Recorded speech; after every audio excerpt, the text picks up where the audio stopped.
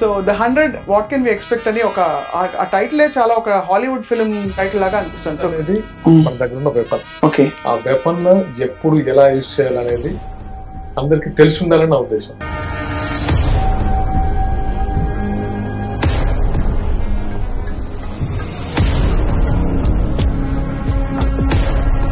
But ఈ cinema మీద మీరు మొదటి నుంచి కొంచెం ఒక హోప్ పెట్టుకుని ఉన్నారు. సో చాలా రోజుల తర్వాత మళ్ళీ నేను కాప్ క్యారెక్టర్ చేశాను. ఆర్కే నాయుడు లాంటి ఒక కాప్ క్యారెక్టర్ చేశాను. పర్సనల్గా నచ్చడానికి కూడా రీజన్ ఐ థింక్ వాళ్ళ అమ్మగారు అమ్మగారికి మీరు చాలా స్పెషల్ అని వినికిడి. నాగబాబు గారు అమ్మ మిమ్మల్ని కలవాలనుకుంటున్నారు సాగర్. అంటే చాలా ఇష్టం అమ్మకి. అంటే నేను కాసేపు షాక్ అయ్యా నేను చూస్తే మా నాన్న చూసినట్టుంది. మా నాన్న కూడా మీలాగే ఉండేవాడు పోలీసు. అతని పేరు కూడా ఆర్కే నాయుడు ఆయన పేరు కూడా. ఇప్పుడు నెక్స్ట్ ఏంటి సాగర్ గారు? ద హండ్రెడ్ తర్వాత? ద హండ్రెడ్ తర్వాత ఇంకో మూవీ ఉంది. అది కూడా కాప్ స్టోరీ. ఇంకా పోలీసులు రాసి పెట్టేశారు. బిందు నాయుడు గారు writer. She's a pro comrade ఆ టైప్లో ఉంటారు అన్నమాట క్యారెక్టర్ని చేయడానికి నాకు ఎగ్జైటింగ్గా ఉండేది. ఇంట్రెస్టింగ్ జర్నీ మీది. మీరైతే పాలిటిక్స్లో ఇంకా బాగా దూసుకెళ్తారని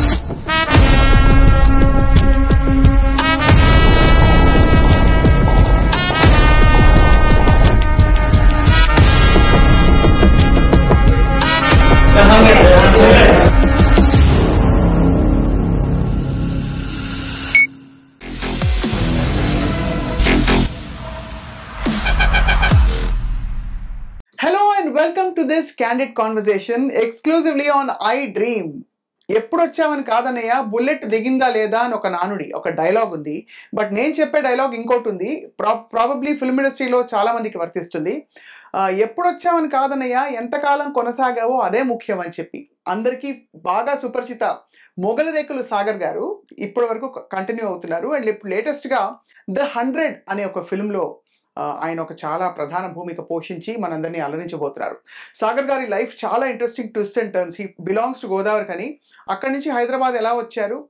ఆయన టీవీ సీరియల్ అండ్ అలాగే ఫిల్మ్ లైఫ్ ఎలా కొనసాగిందో మాట్లాడదాం. సాగర్ గారు వెల్కమ్ బ్యాక్ అని చెప్పాలి. హలో స్వప్న గారు. ఎలా ఉన్నారు మీరు? నేను బాగున్నాను. మీరు పొలిటికల్ లీడర్ లేదు. సాగర్లా మాట్లాడదాం. సాగర్ లాగే మాట్లాడదాం yeah so the hundred what can we expect అని ఒక ఆ- టైటిలే చాలా ఒక హాలీవుడ్ ఫిల్మ్ టైటిల్ లాగా అనిపిస్తుంది. త్రీ హండ్రెడ్ అని వచ్చింది కదా ఒకటి అందుకని. So what you expect from the hundred so hundred నుంచి నేను expect చేసేదానికంటే it's definitely it's very good content అంటే క్లియర్గా చెప్పాలంటే it's a weapon weapon the hundred అనేది మన దగ్గర ఉన్న వెపన్ ఓకే ఆ వెపన్ ఎప్పుడు ఎలా యూజ్ చేయాలనేది అందరికి తెలిసి ఉండాలని నా ఉద్దేశం. ఇది ఇది నిజంగా ఒక రెస్పాన్సిబిలిటీగా తీసుకున్నా అంటే మూవీ ప్రమోషన్ కాకుండా ద హండ్రెడ్ అనేది నా డ్యూటీ లాగా చేయాలి ప్రతి మనిషి వాళ్ళ డ్యూటీ లాగా చేయాలనేది నా ఉద్దేశం. అంటే మూవీ లాగా కాకుండా అది. సో ఇట్స్ ఇందులో ఆఫ్ కోర్స్ మీరు you're playing the main role. And ఇంతకు ముందు కూడా మీరు చాలా ఫిల్మ్స్ చేశారు. బట్ ఈ సినిమా మీద మీరు మొదటి నుంచి కొంచెం బాగా ఒక హోప్ పెట్టుకుని ఉన్నారు. చాలా మందికి నేను చేసిన ఆర్కే నాయుడు క్యారెక్టర్ అంటే ఎవ్రీ అంటే ప్రతి ఇంట్లో ఆర్కే నాయుడు అంటే ఒక స్పెషల్ ఇంపార్టెన్స్ అంటే స్పెషల్ ఎఫెక్షన్ ఇచ్చిన క్యారెక్టర్ అవును. కాప్ కాప్ క్యారెక్టర్ సో చాలా రోజుల తర్వాత మళ్ళీ నేను కాప్ క్యారెక్టర్ చేశాను. ఒక ఆర్కే నాయుడు లాంటి ఒక కాప్ క్యారెక్టర్ చేశాను.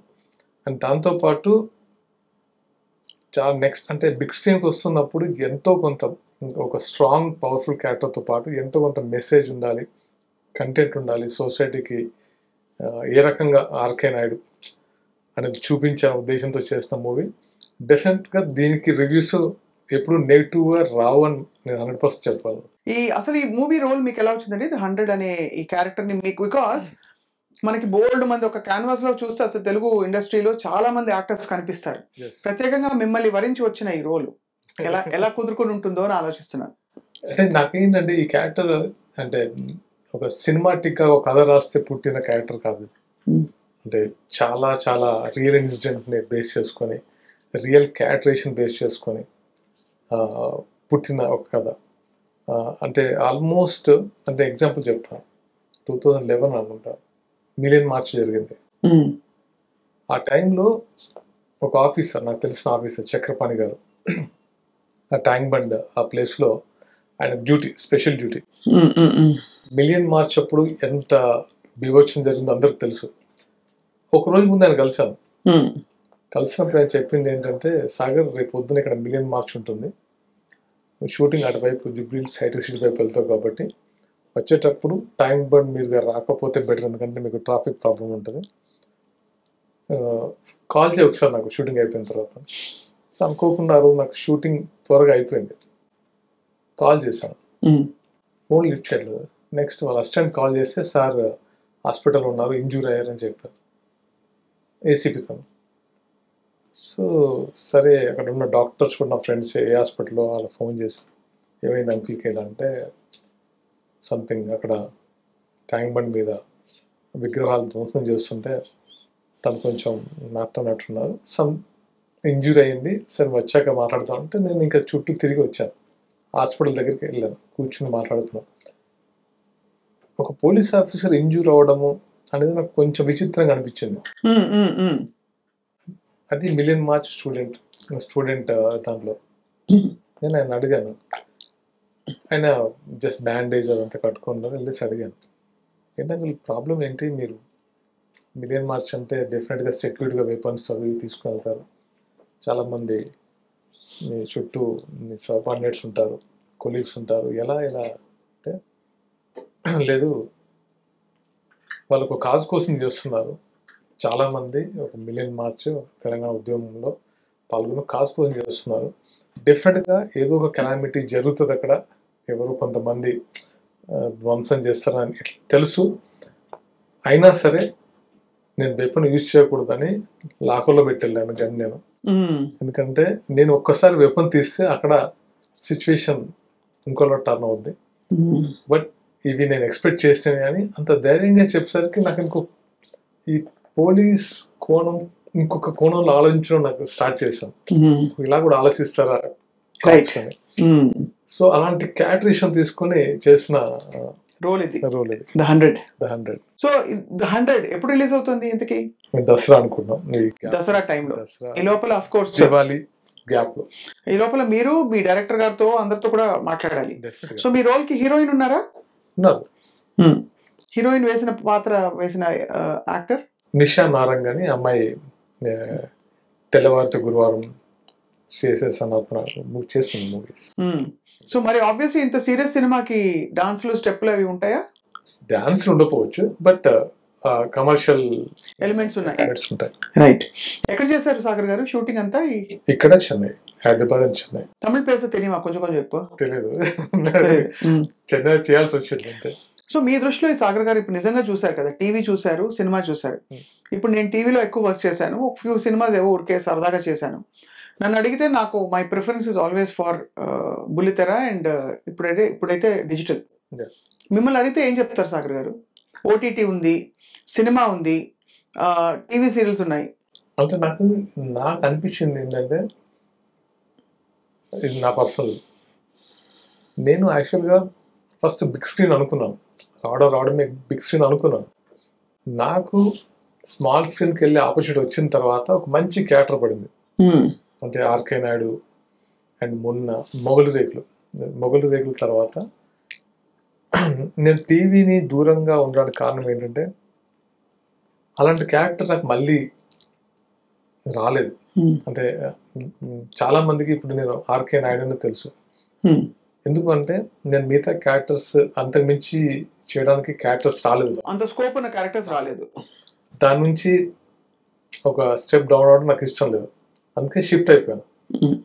అది కూడా ఏంటంటే మూవీ అనేది ఛాలెంజింగ్గా తీసుకునే సరే చూద్దాం. అంటే మనం ఎంత నేర్చుకోవచ్చు?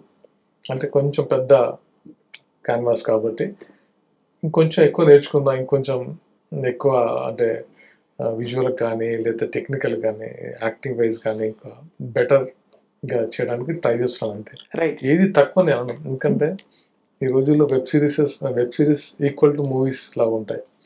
సో యాక్టింగ్ సేమ్ ఎక్కడైనా. అవును పెద్ద పెద్ద స్టార్స్ చేస్తారు కదండి. అసలు అంటే ఇప్పుడు భేదం పోయింది కానీ అయినా ఒక ఫిల్మ్ ఉంటుంది. ఒక ఫిల్మ్ ప్రొడక్షన్లో ఉండే ఎక్స్పీరియన్స్ వేరు. ఒక ఓటీటీలో అండ్ ఒక టీవీ సీరియల్లో అయితే ఇప్పుడైతే ఫ్యాక్టరీలో కొట్టేస్తున్నారు కదా ఈ లాస్ట్ టెన్ ఇయర్స్లో TV serials. అంటే ఏమైపోయిందంటే ఎప్పుడైతే టీవీ సీరియల్స్లో ఆ, అంటే ఛానల్స్ టేక్ ఓవర్ చేసి ప్రొడ్యూసర్స్ని సమ్ ఫండెడ్ చేసి చేసేసరికి ఏంటంటే ఎక్కువ ఎపిసోడ్లు ఇవ్వాలి. ఈ రోజు మూడు ఎపిసోడ్లు ఇవ్వాలి నాలుగు ఎపిసోడ్లు ఇవ్వడానికి క్వాలిటీ డెఫినెట్గా తగ్గిపోతుంది అప్పుడు మాకు ఆ ప్రాబ్లం లేకుండా అవును. మొగల్ రేకుల టైంలో ఏంటంటే ఆల్మోస్ట్ మేము రోజులో ఫైవ్ మినిట్స్ సిక్స్ మినిట్స్ ఇచ్చేవాళ్ళం. అంతే. అంతే. లైక్ సినిమాలా చేసాం. అంటే క్వాలిటీగా ఉండాలి. అంటే రీ రీషూట్ కూడా మేము వెనుకాడే వాళ్ళం కాదు. సో అంత కేర్ తీసుకొని చేసిన వాళ్ళం. ఇప్పుడు కొంచెం అది ఆ సిచ్యువేషన్ లేదు కాబట్టి మారిపోయింది. సో మొగల్ రెగల్స్ సీరియల్ బాగా డబ్బులు ఇచ్చారా? మీ అంటే మీరు బికాజ్ ఎంత ఎంత ఇచ్చా అడగలేదు మరి అంత దారుణంగా అడగం కానీ ఎందుకు అడుగుతున్నా అంటే ఆ రోజుల్లోకి ఇప్పటికి మళ్ళీ స్టాండర్డ్స్ మారిపోయాయి కదా. అంటే ఆ రోజుల్లో నాకు తెలిసి నేను the- remuneration తీసుకుంది నేను అనుకుంటాను. హై హైయెస్ట్ రెమ్యునేషన్ తీసుకుంది మీరు. అంత ఇష్టపడి మిమ్మల్ని పెట్టుకున్నారంటే అది మీ క్యారెక్టర్ బాగా వెళ్ళిపోయింది Yeah, yeah. ఐ థింక్ ఒక పాయింట్లో ఎండ్ చేద్దాం అనుకుని కూడా కంటిన్యూ చేశారు కదా. లేదు యాక్చువల్గా దాన్ని ఎండ్ చేయాలి చేస్తా అనుకుంది నా వల్ల ఎండ్ చేశారు. అంతేనా? ఇంకొక మూడు సంవత్సరాలు ఉండేది మీరు ఇంకా చేయని చెప్పేశారా? అలా అంత అలా ఉండదు కాదు. అంటే they are like Manju Naidu గారు బిందు నాయుడు గారు ప్రొడ్యూసర్స్. మేమంతా ఎలా ఉండదు అంటే లైక్ ఫ్యామిలీ. చెప్తే షాక్ అవుతారు. ఎందుకు అవుతారు షాక్? సిక్స్ సిక్స్టీ డేస్ షూటింగ్కి ఇన్ని అగ్రిమెంట్ రాస్తాం ఇప్పుడు మేము సిక్స్ ఇయర్స్లో ఒక అగ్రిమెంట్ లేదు మాకు. ప్రొడ్యూసర్కి డైరెక్టర్కి ఆర్టిస్ట్లకి మధ్య ఒక అగ్రిమెంట్ లేదు. ఓన్లీ ఒక నమ్మకం. అంతే. అంతే. ఒక నమ్మకంతో చేసినాం. వాళ్ళు లైక్ ఫ్యామిలీ లానే ఉండేవాళ్ళు. ఇంట్లో ఉన్న ఒక అబ్బాయిలాని ట్రీట్ చేసేవాళ్ళు అండ్ మాకు కూడా అదే ప్యాషన్ ఉండేది. మనం నమ్మి ఒక క్యారెక్టర్ ఇచ్చారు. దాన్ని ప్రూవ్ చేయాలి. వెళ్ళిపోవడం ఉద్దేశం. అంటే ఓపెన్గా ఉండేది. నాకు ఈ టైంలో నేను ఇప్పుడు మూవీకి వెళ్దాం అనుకుంటున్నాను. కాబట్టి ఈ టైంలో ఏం చేద్దాం? లేదు ఇంకొక వన్ ఇయర్ రన్ చేద్దాం. ఇదన్నీ చాలా క్లియర్గా మాట్లాడుకునేవాళ్ళం. ఎక్కడ అసలు అది లేదు. అంటే అంత ట్రాన్స్పరెంట్గా ఉండేవాళ్ళం అంత ఎమోషనల్ అటాచ్మెంట్తో ఉండేవాళ్ళం కాబట్టి అన్ని సంవత్సరాలు వర్క్ చేయగలిగాం. అంత క్వాలిటీ ఇవ్వగలిగాం అంతే. అంత అలాంటి ఎన్వైరన్మెంట్ ఇప్పుడు దాదాపు లేదు ఎక్కడ కూడా. అంటే ఫ్యామిలీ అని అనుకునేది. ఉండొచ్చు తగ్గి తక్కువ చాలా తక్కువ. అక్కడ మాకు అలా అనిపిస్తుంది అక్కడ సో ఆ టైంలో మీకు వేరే ఆఫర్స్ వచ్చాయా బాగా? ఎడాపెడా. వద్దని చెప్పారా? లేకపోతే కొన్ని చేశారు? లేదు. అంటే నాకు ఆల్మోస్ట్ మొగల్ రేగులు చేసే టైంలో నేను ట్వంటీ ఫైవ్ డేస్ నేను షూటింగ్కి వెళ్ళేవాను మంత్లో ఓన్లీ ఫ్రైడే హాలిడే అనమాట ఎందుకంటే డ్యూయల్ రోల్ నాకు ఇక్కడే ఆల్మోస్ట్ అవి చేయడానికి సిక్స్టీన్ అవర్స్ చేసేవాళ్ళం. సో ఇంకా వేరే సీరియల్ చేయడానికి టైం ఉండేది కాదు. సో చాలా అప్పుడు రాధిక గారు రావడం నుంచి చాలా ఆపర్చునిటీ వచ్చాయి కానీ చేసే సిచ్యువేషన్ కాదు.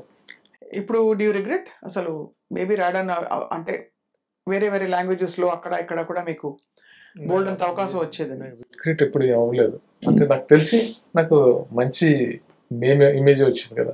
లైక్ అంటే ఇప్పటికి స్టిల్ ఈ. రోజుకి మొగల్ రేకులు చూస్తున్నారు. ఈ రోజుకి నాకు అప్పుడు ఎలా నన్ను రిసీవ్ చేసుకున్నారో పీపుల్ ఇప్పటికీ అలానే నన్ను ఎఫెక్షన్గా చూస్తున్నారు. ఇంకా నాకు అది రిగ్రెట్ అనిపించలేదు. అప్పటి మీ సమకాలీకులు ఎవరు? అచ్యుత్ గారు వాళ్ళందరూ కొంచెం సీనియర్ మీకంటే? చాలా సీనియర్స్. చాలా సీనియర్స్. చాలా సీనియర్స్ అది. కానీ అప్పటికి వాళ్ళంటే సీరియల్స్ మొదలయ్యి మనకి దాదాపు టీవీ సీరియల్స్లో వాళ్ళు కొంచెం ఒక అంటే అప్పటికి అఫ్కోర్స్ అచ్యుత్ రావు గారు తర్వాత అశోక్ రావు గారు అశోక్ కుమార్ గారు చాలా సీనియర్. నేను అవును కూడా చిన్నప్పుడు. అది అది అక్కడ వింటూ. చెప్తుంది. అదే నో నో బట్ వాళ్ళు ఐఎమ్ సేయింగ్ ఎస్టాబ్లిష్డ్ ఆర్టిస్ట్లకి. ఇప్పుడు నేను ఒక కొత్త న్యూ కమర్ వచ్చి ఒక స్క్రీన్ని బాగా కమాండ్ చేసే న్యూ కమర్ వచ్చినప్పుడు మీ సమకాలీకులు ఎవరైతే? కౌశిక? కౌశిక్ మా సీనియర్ సీనియర్ కౌశిక్. కూడా మీకు సీనియర్. మేమున్నప్పుడు రాజేష్ సెల్వ అండ్ ఇంతే వాళ్ళందరూ చూసి వావ్ అనుకునేవారా? లేదు అంతే కలిసి చేసేవాళ్ళం కదా. అదే కరెక్టే కరెక్టే. కలిసి. బట్ ఐమ్ సేయింగ్ అదర్ సీరియల్స్లో ఇంకా వేరే సీరియల్స్ కూడా ఉంటాయి కదా. అదర్ సీరియల్స్ అంటే మంచి ఎన్విరాన్మెంటే ఉండేది అంటే చిన్న చిన్న ప్రొఫెషనల్గా ఏదో చిన్న చిన్న ఉంటాయి కానీ నాకు పెద్ద ఎవరితో నాకు పెద్ద అటాచ్మెంట్ ఏం పర్సనల్. అటాచ్మెంట్ ఏం పర్సనల్ కూడా లేదు ఉమ్. ప్రొఫెషనల్గా ఏదైనా అంతే తప్పితే అది కూడా నేను పట్టించుకున్నాను కాదు ఇష్టం ఉండదు అవన్నీ అవును. చేశానా నేను అసలు యాక్చువల్గా చాలా తక్కువ మందితో ఇండస్ట్రీలో అంటే ఇప్పటికీ బిందు నాయుడు గారు మల్లిన నాయుడు గారు అండ్ జనార్దన్ అంటే ఆ ప్రొడ్యూసర్ ఆ టీంతో కలుస్తుంటాం కానీ ఆర్టిస్టులతో పెద్ద ఉండేది కాదు. ఉమ్. నాకు డిఫరెంట్ డిఫరెంట్ అప్లికేషన్స్ ఉండేవి నా బిజినెస్ అనో సంథింగ్ బిజినెస్ ఏం చేసేవారు? టు వేర్ ఇంటూ కన్స్ట్రక్షన్స్ అంటే మేము. సో అలా అంటే నాకు ఎక్కువ నా చైల్డ్హుడ్ ఫ్రెండ్స్ ఎక్కువ ఉండేవాడిని. ఆ, కొంచెం అంటే అంటే ఇది ఎలా ఉండేదంటే నాకు జాబ్ లానే ఫీల్ అయ్యాను కానీ ఎక్కువ అంతకంటే నెత్తికెక్కించుకోలే. ఎప్పుడు. అసలు ఆ ఇమేజ్ అనేది కూడా నాకు తెలియదు నేను ఇమేజ్ ఉంది ఎస్టాబ్లిష్ అయ్యామనే ఫీలింగ్ కూడా నాకు ఎప్పుడు లేదు ఇప్పటికీ లేదు. లైక్ మై ఓన్ క్యారెక్టర్ ఏంటో అది దాన్ని నేను నమ్మేవాను అంతే తప్పితే ఈ క్యారెక్టర్ని ఎప్పుడు. ఇట్స్ ఇట్స్ అంటే వస్తూ ఉంటాయి పోతూ ఉంటాయి దాదాపు మనకంటే చాలా ఎక్కువ హైట్ చూసిన వాళ్ళు ఉన్నారు. ఇవన్నీ వెరీ కామన్ కరెక్టే అది. అంటే ఏ పబ్లిక్ ప్రొఫెషన్ అయినా అంతే కదండి. వస్తాయి పోతాయి తెలియదు కానీ మిమ్మల్ని నడిపించిన నాడి ఏమిటి అసలు? లైఫ్ లాంగ్ మనందరికీ ఏదో ఒక ఆస్పిరేషను అంబిషను ఏదో ఉంటుంది. ఉదాహరణకి నేను పైసలు సంపాదించాలి. లేదు ఉదాహరణకి నేను ఫేమస్ అయిపోవాలి. లేకపోతే మా నాన్న అమ్మ నన్ను సంతోషపడాలి నన్ను చూసి గర్వపడాలి. లేదు ఇంకేటో. అలా ఉంటే ప్రతి వాళ్ళకి ఒక గైడింగ్ ఇది. లేకపోతే నేను ఇది ప్రూవ్ చేసుకుని నాకు ఇది కావాలి. Whatever what was your guiding like మీ దృష్టిలో? లైఫ్లో మనం మన మన చైల్డ్హుడ్ నుంచి మనం ఒక్కొక్క ఒక్కొక్క అంటే ప్లేస్కి వెళ్తున్న కొద్దీ మనకి ఏం వస్తుంది? మన సిచ్యువేషన్ బట్టి అంటే నేను సింపుల్గా చెప్పాలంటే చెప్తాను ఎగ్జాంపుల్ చెప్తాను. నేను ఒక హైట్స్కి వెళ్ళి అని చెప్పను కానీ నేను ఒక మంచి ప్లేస్లో ఉండి నా మేరకు నా నా నా నా శక్తి మేరకు కొంతమందికి హెల్ప్ చేయాలి మాత్రం ఉంటుంది ఎప్పుడు. అది నాకు మా ఫాదర్ ఇచ్చిన గైడెన్స్ అవును. నువ్వు ఎదిగితే పది మందిని టేక్ కేర్ చేసేలా ఉండాలనేది ఆయన అలా అలా నేర్పించారు అండ్ నాకు స్కూల్స్లో కూడా అలాగే ఉండేది నా చిన్న విద్య అలాగే నాకు నడిపించి అలా అలా మమ్మల్ని రూట్ చేసేవాళ్ళు Hmm. సో అంతేగాని అంతకు మించి ఏమి పెద్ద పెట్టుకోలేదు. పెట్టుకోలేదు. బహుశా మీరు ఒక విప్లవ నేపథ్యం నుంచి రావడం కూడా ఒక కారణం ఉండొచ్చు దానికి. అంటే అదేంటంటే గోదావరి కని. మాది గోదావరి కని. అండ్ ఎప్పుడు చెప్పలేదు బట్ ప్రవీణ్ తెలుసు అనుకుంటాను అక్కడ ఏంటంటే రెండు వ్యసనాలు ఉంటాయి. ఒకటి మద్యం. Hmm. రెండోది ఫ్రెండ్షిప్. Hmm. అతి డేంజరస్ అంటే ఎలా ఉంటుందంటే ఫ్రెండ్షిప్ ఫ్రెండ్షిప్ కోసం ఏమైనా చేస్తారు. చాలా మంది తెలియదు. అంటే ఎవరు ఓపెన్ అయ్యారో తెలియదు. అంత అంతే ఫ్యామిలీకి ఎంత ఇంపార్టెన్స్ ఇస్తారో ఫ్రెండ్షిప్కి అంతకంటే ఎక్కువ ఇంపార్టెన్స్ ఇస్తారు. అదే రేంజ్లో అంటే ఒక ఫ్రెండ్కి ఏమైనా అవుతే అదే రేంజ్లో ఫైట్ చేస్తారు వాళ్ళ గురించి? అమ్మో! అది గ్యాంగ్ వార్స్. గ్యాంగ్ వార్స్ ఉంటాయి. గ్యాంగ్ వార్స్ అనేవి గోదావరికంలో అది ఇంకా దాని తర్వాత ఎక్కడైనా. అది కన్స్ట్రక్టివ్ వేలో ఉంటే అక్కడ చాలా డెవలప్మెంట్ జరుగుతుంది. ఒక్కోసారి. తప్పులు జరుగుతుంటాయి దానివల్ల. సో నేను గోదావరికంలో ఏంటంటే it's it's a different atmosphere అంటే నేను ఒక్క మాటలో చెప్పాలంటే నాకు బాగా నచ్చుతుంది. చాలా స్ట్రైట్గా ఉంటారు.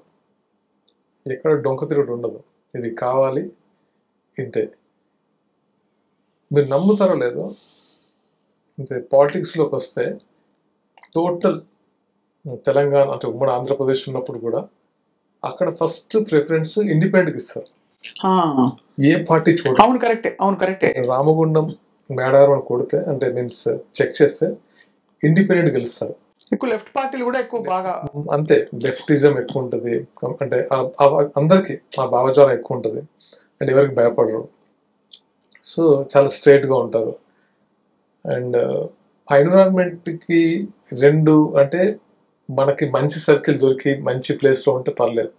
లేకపోతే ఇంకొక రూట్లో వెళ్ళిపోతారు. చాలామంది నేను నేను చూస్తున్నప్పుడు చాలామంది చూసి బాధ వేసేది మంచి క్యారెక్టర్ ఉంటుంది. క్షణికావేశం తప్పులు చేస్తుంటారు. చాలా ఇబ్బందులు పడుతుంటారు. ఫ్యామిలీస్ ఇబ్బంది పడుతుంటారు. ఇలా కాదు. కానీ ఇప్పుడు చాలా మారింది. ఇప్పుడు అప్పుడు అప్పుడు మేము ఉన్నప్పుడు కంటే ఇప్పుడు మారింది. మమ్మల్ని కూడా మా ఫాదర్ అందుకే ఎక్కడో అంటే అది మాది వేరే డిఫరెంట్ అది ఆంధ్ర గుంటూరులో పంపించేసి చదువుకోమని చెప్పడం. ఇవన్నీ చాలా మంది చేస్తుంటారు. ఏదో ఐ లైక్ దట్ అంటే నా మరి అక్కడి నుంచి మీకు మీరు మాత్రం చాలా సాఫ్ట్ అండ్ రిజర్వ్డ్ అండ్ అని కట్టలు తెచ్చుకునే టైప్లో అనిపించట్లేదు. చాలా పెద్ద మనిషిలాగా పద్ధతిగా ఉన్నారు. సో మరి ఎట్లా అక్కడి నుంచి వచ్చి మరి ఇలా ఎలా ఉన్నారు? మార్చుకోవాలిగా అంతేనా? అంటే అవన్నీ లోపల ఉంచాలి. అది ఎప్పుడు ఎప్పుడు పడితే తీయొద్దు. వచ్చినప్పుడు తీయాలంటే అలా మీకు ఫ్రెండ్స్ ఉన్నారా? అందరు ఫ్రెండ్సే కదా అక్కడ. అలా కాదు. నేను ఇది రే అని కత్తి తీసే ఫ్రెండ్ అందరూ ఉంటారు అక్కడ. అందరు ఫ్రెండ్స్ అందరూ చిన్నప్పటి నుంచి చూసిన వాళ్ళు మా సీనియర్స్ జూనియర్స్ ఉంటారు. వాళ్ళు మిమ్మల్ని ఒక్కసారిగా మా రామగుండం వజ్రం బొబ్బుగనుల్లో వచ్చిన వజ్రం. నేను చిన్నప్పుడు ఒక ఒక అంటే చిన్నప్పటి నుంచి పేరెంట్స్ చూస్తుంటాం కదా. ఇంక్లైన్ అండర్ గ్రౌండ్లోకి వెళ్తారు. అండర్ గ్రౌండ్లోకి వెళ్ళినప్పుడు ఒక five to ten KS weight వేసుకొని ఒక ఫైవ్ కిలోమీటర్స్ నడిచి. డాడ్ కూడానా? జాబ్ డాడ్ ఎస్ మీరు చూసారు? నేను చూసాను నన్ను నన్ను తీసుకెళ్ళారు. వాళ్ళు వచ్చినప్పుడు బయట ఎలా ఉంటుందంటే నాకు తెలిసి ఇది ఫ్లెష్ అంతా బాయిల్ అవుతుంది లోపలికి వెళ్ళిన తర్వాత. అంత ఉంటుంది. అండ్ దాంతోపాటు వాళ్ళు దగ్గితే బొగ్గు వస్తుంది. వాళ్ళు ఉమ్మితే బ్లడ్ లోపల నుంచి బయటకు వస్తుంది. అంత హార్డ్ వర్క్ ఉంటుంది. అందుకే వాళ్ళకి అంటే అంటే ఆ టైంలో నిద్ర రాక ఆ మందు అలవాటు అవ్వడానికి రీజన్స్ చాలా మంది అంటే అది. అండ్ ఏంటంటే ఎప్పుడు చాలా యాక్సిడెంట్స్ అవుతుంటాయి. మైన్ యాక్సిడెంట్స్ ఇప్పటికీ నేను నేను ఇక్కడ ఉన్నాను కదా? అక్కడ అక్కడ అంతా వస్తుంటుంది మాకు రిపోర్ట్ అంటే డైలీ న్యూస్ వస్తుంటుంది. ఇప్పటికీ మైన్ యాక్సిడెంట్ జరుగుతుంటాయి. మైన్ యాక్సిడెంట్ అంటే అండర్గ్రౌండ్కి వెళ్ళిన తర్వాత కప్పు కూలిపోవడం ఒక్కొక్కసారి డెడ్ బాడీస్ పీసెస్గా బయటకు వస్తాయి బాబోయ్ సో అలాంటి డేంజరస్ సిచ్యువేషన్ వాళ్ళు పనిచేస్తారు. నిజంగా నాకు అందుకే చిన్నప్పుడు చూడడం వలన లేకపోతే అందరు ఇప్పుడు ఏంటంటే అందరూ ఫ్యామిలీలానే ఉంటాం సింగరేణి క్వార్టర్స్.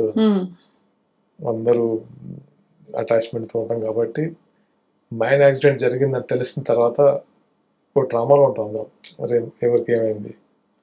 మన అంటే ఎప్పటి నుంచో పాతుకుపోయిన రిలేషన్స్ లేకపోతే ఫ్యామిలీ ఫ్రెండ్స్ లేకపోతే. వీళ్ళే ఉంటారు. సో అది సింగరేణి యాజమాన్యం కొంచెం ఇప్పుడిప్పుడు చర్యలు తీసుకుంటుంది. అండ్ యూనియన్స్ కూడా రియాక్ట్ అవుతున్నాయి ఎక్స్క్రేష్ అవన్నీ కానీ. అవి ఇంకా వెరీ కామన్ అయిపోయాయి. ఏమండి ఎంత ఎక్స్ప్రెస్ చేస్తే మనిషి తిరిగి వస్తారండి కదా, అది అది అంతే అన్న. అందుకే సింగరేణి కాలేజ్లో పనిచేసే వాళ్ళకి నిజంగా నాకు ఎప్పుడు ఆ బ్యాక్గ్రౌండ్ నుంచి వచ్చానని చెప్పట్లేదు. ఆ సిచ్యువేషన్ చూశాను. వాళ్ళ లైఫ్ స్టైల్ ఏంటి? వాళ్ళ ప్రాబ్లమ్స్ ఏంటి? అవన్నీ నాకు బాగా తెలుసు కాబట్టి ఎప్పుడు నాకు అనిపిస్తుంది. I want to do something there hmm. ఇది అది మాత్రం నాకు ఉండేది. సో మీలో కనిపిస్తుందండి. ఎందుకంటే లాస్ట్ టైం కూడా మిమ్మల్ని కలిసినప్పుడు అనిపించింది. ఫస్ట్ టైం ఆ రోజు కలిసినప్పుడు నాకే కదా మా టీం అందరికి. ఎవరు వెరీ అంటే మీలో మీకు ఒక ఆలోచన నడుస్తుంది. ఇక్కడ actor hundred fifty two hundred five hundred ఇవన్నీ కూడా ఒక పక్క ఒక ట్రాక్ వెళ్తుంది. పక్కన ఇంకొక సాగర్ లోపల. I think there is something else brewing అని అనిపిస్తుంది చూస్తే. ఎందుకంటే మీరు తొందరగా రియాక్టివ్గా నవ్వడం ఆన్సర్లు చెప్పడం చేయకుండా. చాలా ఆలోచితంగా చెప్తున్నారు. అది ఏంటంటే అది అది ఒక ఒక లైఫ్ స్టైల్లో పెరిగాం కాబట్టి డెఫినెట్గా అంటే మళ్ళా మళ్ళాగా ఇంకోటి ఫేస్ చేయకూడదు. మళ్ళాంటి సిచ్యువేషన్ ఇంకోటికి రాకూడదు. అండ్ చాలా సమస్య అంటే ఎలా చెప్పాలి అంటే ఎక్కడి నుంచో దిగి వచ్చాము ఏదో చేయాలి అట్లా కాదు. సంథింగ్ మనం లాగే మనుషులు సంథింగ్ ఏదో చేయాలనే ఫీలింగ్ అయితే ఉంటుంది. మీరు ఇంటి నుంచి దూరంగా ఉన్నారు కదా చాలా కాలం నాకు తెలిసినంత వరకు. నేను చాలా దూరంగా ఉన్నాను. ఎందుకంటే నేను నాకు పేరెంట్స్కి నేను ఓన్లీ సన్ ఓన్లీ సన్ నేను పేరెంట్స్ దగ్గర ఉంది ఆల్మోస్ట్ గట్టిగా పదిహేను సంవత్సరాలు. ఆ తర్వాత అంతా దూరంగా ఉన్నాను అంటే దూరంగా ఉంచాల్సి వచ్చింది వాళ్ళకి. మీకు మీ సేఫ్టీ కోసం? సేఫ్టీ కోసం. మీ వెల్బీయింగ్ కోసం? సేఫ్టీ బట్ ఇప్పుడు ఇప్పటికీ ఇంకా ఇంకా వాళ్ళు అక్కడ వదిలి రాలేరు అమ్మ వాళ్ళు పేరెంట్స్ ఎలా ఉంటారంటే చాలా సింపుల్ లైఫ్ స్టైల్ గడిపేస్తుంటారు వాళ్ళు.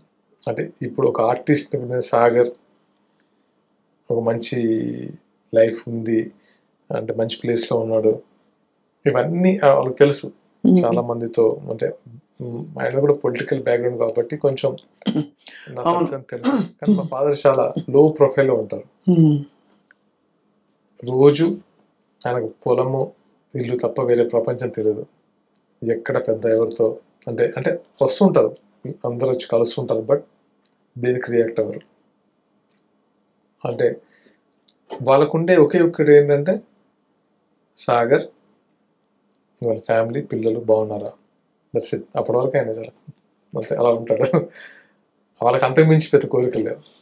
వాళ్ళకి ఎక్కడైనా కష్టం వస్తే మరి సాగర్ మీరు ఒక్కరే కదా? ఎలా మరి?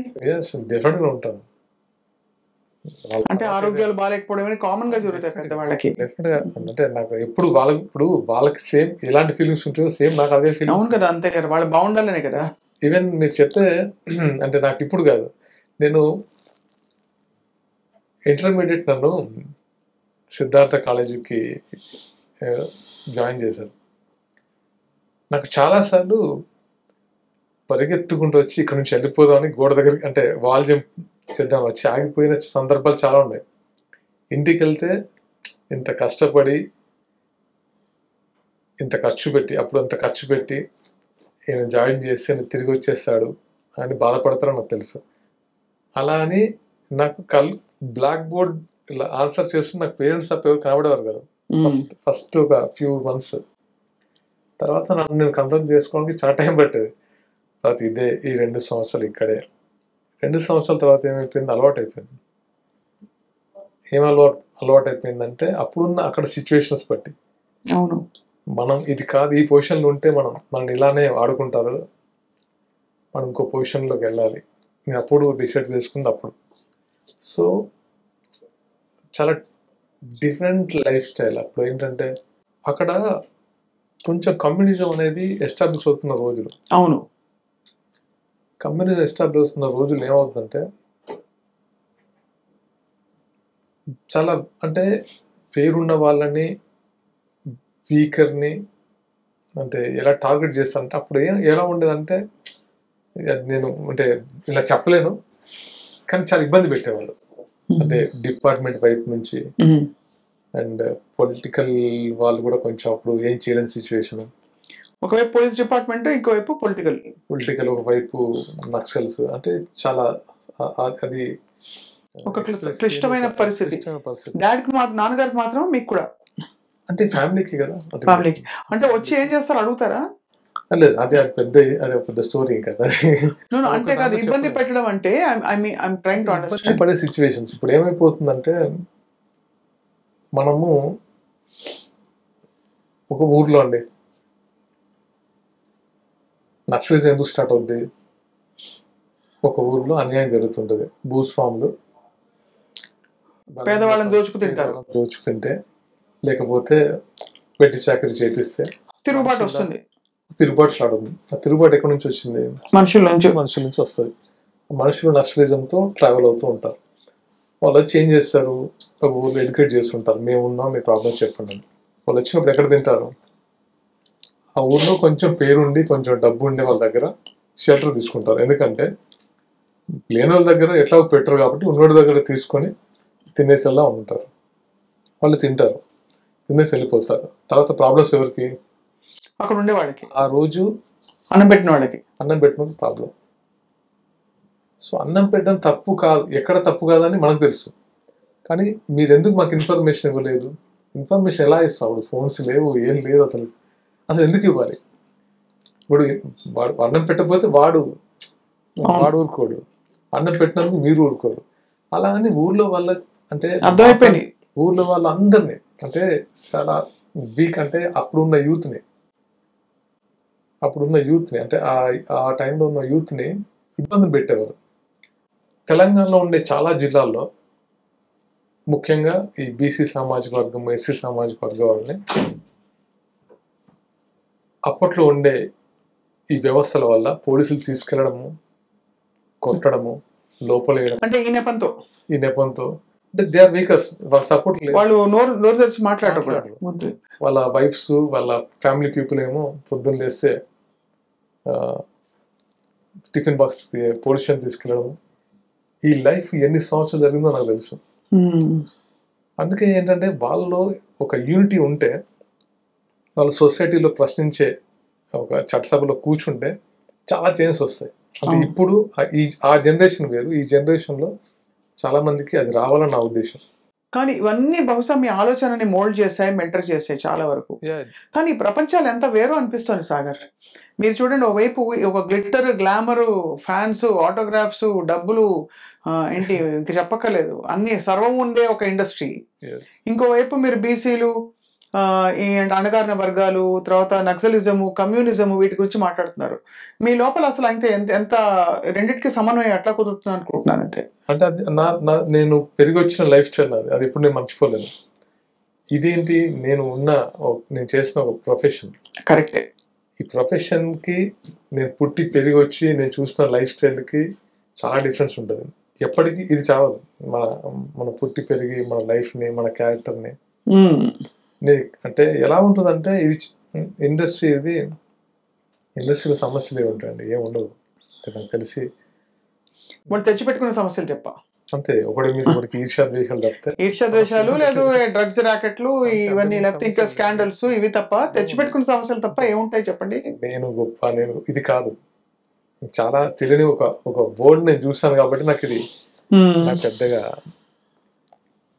అంటే కోర్స్ నాకు కళ్యాణ్ గారు నచ్చడానికి పవన్ కళ్యాణ్ గారు నచ్చడానికి కూడా రీజన్ మేబీ ఇన్ నా పాస్ట్ అండ్ నా ఫీలింగ్ ఎందుకంటే తనతో సార్తో మాట్లాడినప్పుడు ఎలా ఉండేదంటే ఫస్ట్ నుంచి ఇలా కూర్చుంటే చాలాసేపు ఒక వన్ టూ అవర్స్ ఇట్లా మాకు వెళ్ళిపోతూ ఉండేది. సో అందుకే బహుశా ఐ థింక్ వాళ్ళ అమ్మగారు అమ్మగారికి మీరు చాలా స్పెషల్ అని వినికిడి. మొగల్ రేకులు చేసిన తర్వాత నాగబాబు గారు అమ్మ మిమ్మల్ని కలవాలనుకుంటున్నారు సాగర్. అంటే చాలా ఇష్టం అమ్మకి. అంటే నేను కాసేపు షాక్ అయ్యా. అంజనమ్మ గారికి లేదు నీ క్యారెక్టర్ అంటే చాలా ఇష్టం రెగ్యులర్గా చూస్తారు. అంటే సరే అన్న వెళ్తాను వెళ్ళాము. గెలిచిన తర్వాత ఇంకా సర్ప్రైజ్ ఏంటంటే పట్టుకొని నేను చూస్తే మా నాన్న చూసినట్టుంది. మా నాన్న కూడా మీలాగే ఉండేవాడు police.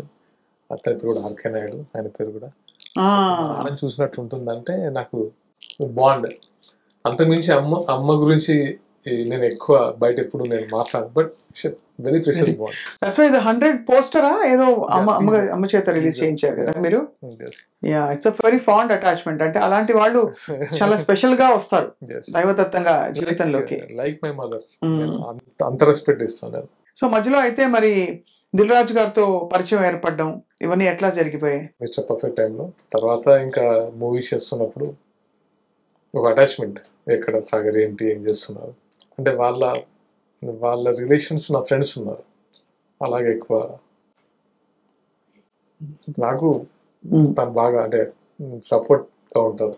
But actually Mogali Rekulu of course two thousand five సిక్స్లో seven seven seven seven Mogali Rekulu అంతకుముందు చక్రవాకం చక్రవాక్ చక్రవాక్ ఎండ్లో వచ్చాను సో అదే టూ థౌసండ్ సిక్స్ వేసుకున్నా కూడా మీకు ఆల్మోస్ట్ ఎయిటీన్ ఇయర్స్ అండి.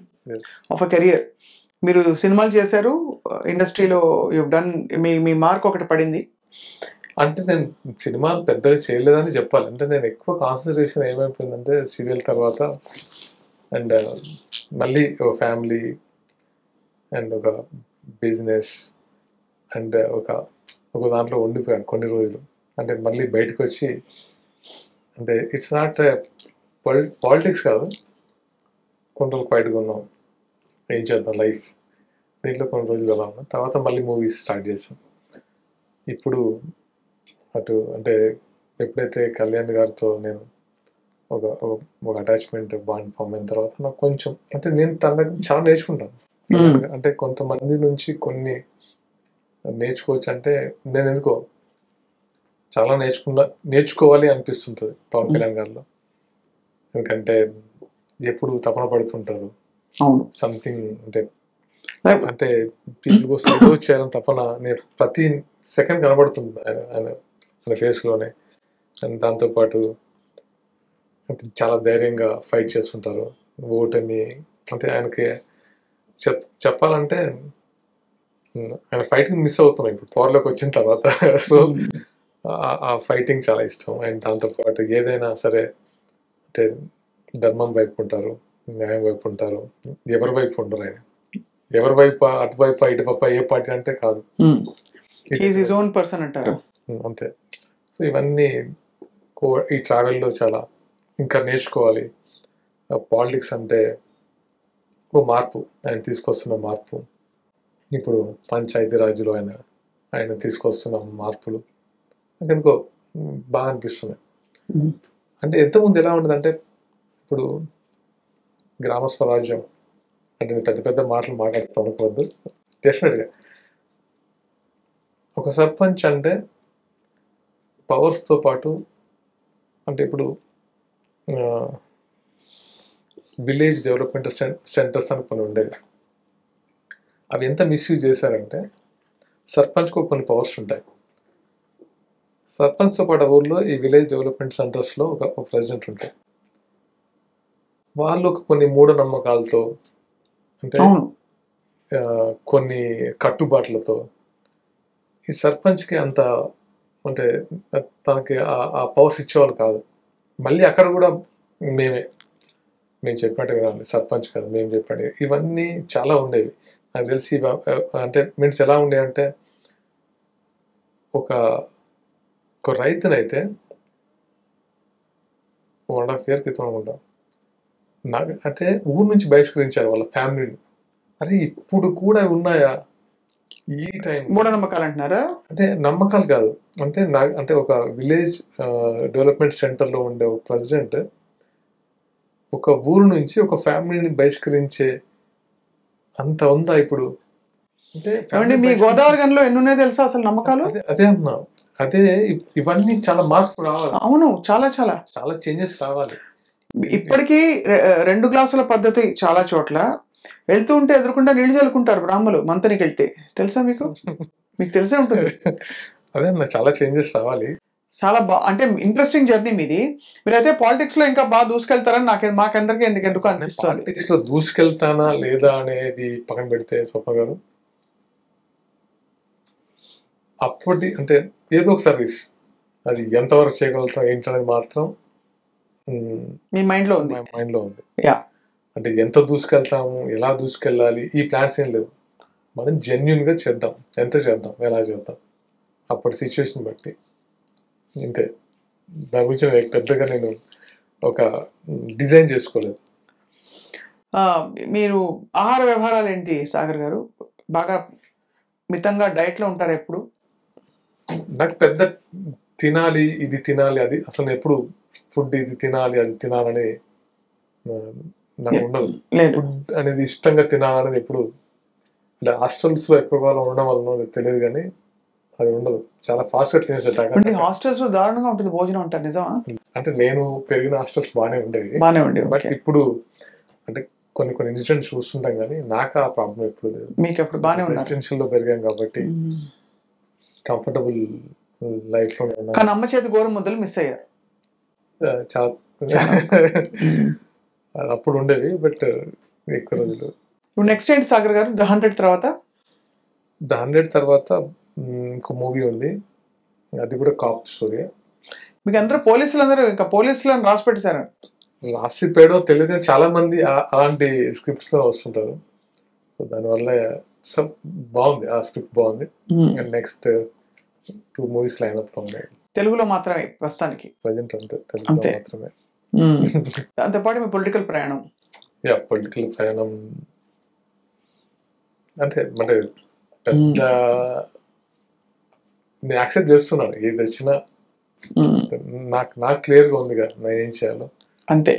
ఎంత చేయాలో ఏది పడితే అది చేయాలని నాకు పెద్దగా ఎప్పుడు అది ఉండదు. మూవీస్ అయినా సరే ఏదైతే చక్కటక్క మూవీస్ చేయాలి ఇవి ఒప్పేసుకోవాలి నా కోసం నాకు నచ్చింది చేద్దాం అనే ఫీల్ అలా ఉంటాను హాయ్ మీరైతే లోపల శిథిలాసంగా ఉన్నారు.